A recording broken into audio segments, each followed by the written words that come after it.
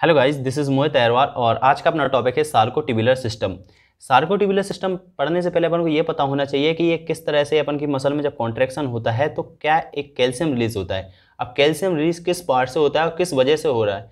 जब action potential अपन के muscle fibre में पहुँचता है अंदर की तरफ़ तो वहाँ से कैल्शियम रिलीज़ होता है। वो कैल्शियम अपन क्या क्या करता है?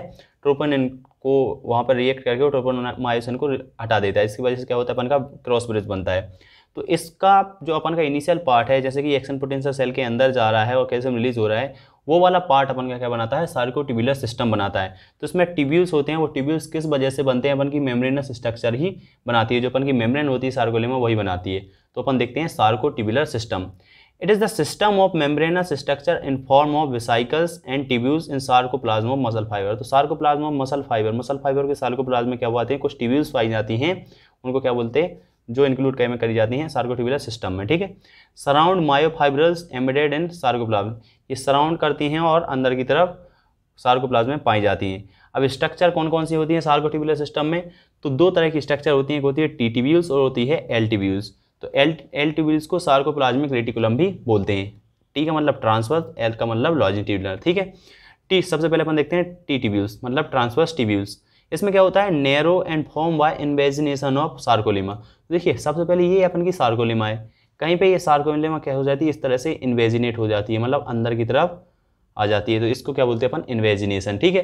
तो narrow and form by invagination of sarcolemma तो ये क्या होती है? नैरो होती है और इन्वेजिनेशन ऑफ़ सार्कोलेमा से बनती है। Because of origin from sarcolemma the T tubules open the exterior of muscles है so the F run Y lumen ये जो अपन का एक्सटीरियर है सेल का ये एक्सटीरियर है, वो कहाँ पे? अंदर की तरफ़ खोलती है। इस वजह से अगर मान लो यहाँ पे एक्सल पोटेंशियल आया तो आराम से अंदर आ सकता है।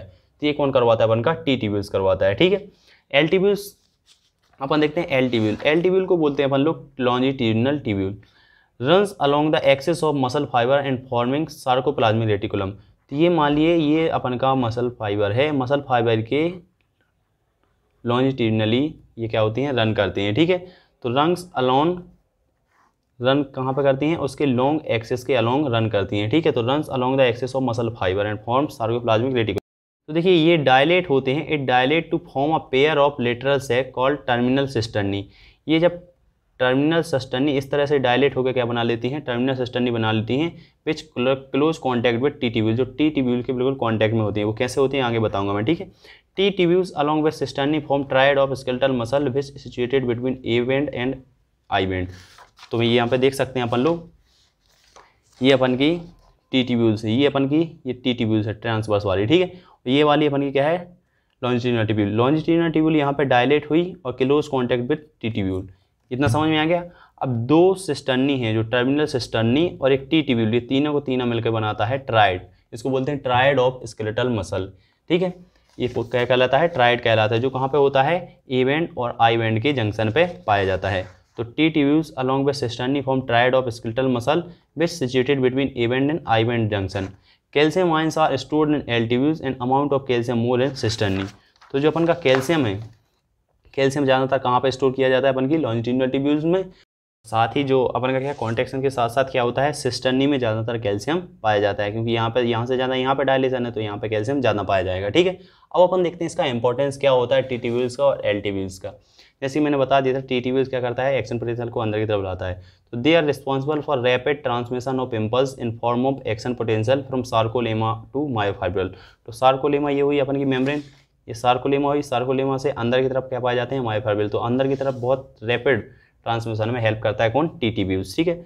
When muscle stimulated action potential developed in sarcolemma and spread it जब मसल को क्या कर जाता है, अपन को स्टिमुलेट किया जाता है तो एक्शन पोटेंशियल से स्प्रेड हो जाता है पूरी सार्कोलेमा में और अच्छे से स्प्रेड होने की वजह से क्या होता है कॉन्ट्रैक्शन हो पाता है, ठीक है? अब देखते हैं अपन लोग एल का कि एल का क्या होता है। It store large quantity of calcium ion when action potential reach cisternae of L tubules calcium release in sarcoplasm ये ट्रिगर करता है involve in contraction of process इसको क्या बोलते हैं अपन? एक्साइटेशन कॉन्ट्रेक्शन कपलिंग अब ये किस तरह से इन्वॉल्व होता है वो अपन आगे देखेंगे। अभी अपन यहाँ पर देख लिया टी का किस तरह से फ़ंक्शन होता है एल क्या कैसे काम करती हैं। ठीक है? Thank you guys please like share and subscribe the channel